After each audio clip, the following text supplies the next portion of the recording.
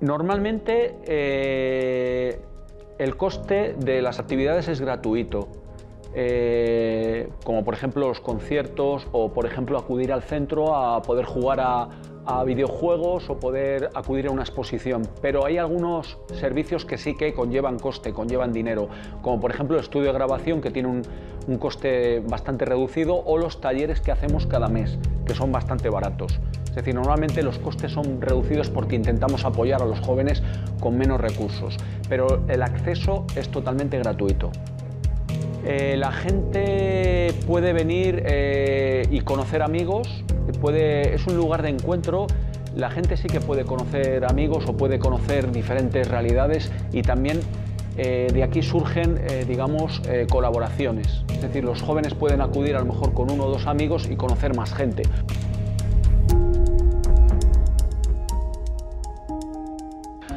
A ver, una de las formas que el, espacio joven puede cambiar la vida de la gente, un poco de los adolescentes de la ciudad, es abriéndoles más, eh, abriéndoles diferentes opciones, ¿no?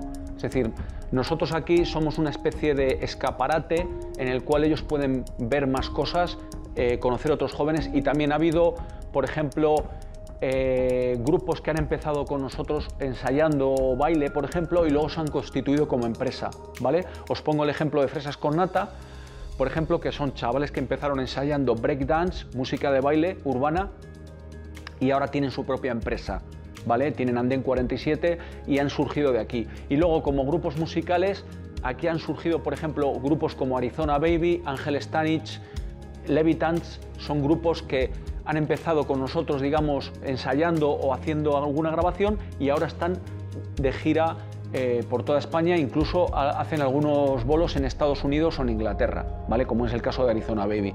Es decir, que sí que hay, hay una proyección. Los chicos, al darles un apoyo y un soporte, se sienten más confiados y luego pueden desarrollar más actividades fuera de aquí.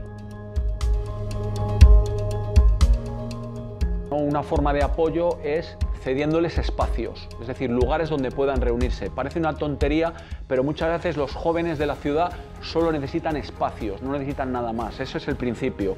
Pero hay veces que los jóvenes necesitan también difusión, apoyo con la difusión, o a veces nosotros también les apoyamos a la hora de ayudarles con los eventos en plan eh, infraestructura, es decir, ayudarles cómo se organiza algo, porque son chavales que tienen ideas muy buenas y nosotros les ayudamos, ¿no? Con esas ideas. Entonces nosotros intentamos de alguna manera que siempre ellos sean los protagonistas y nosotros simplemente les echamos una mano.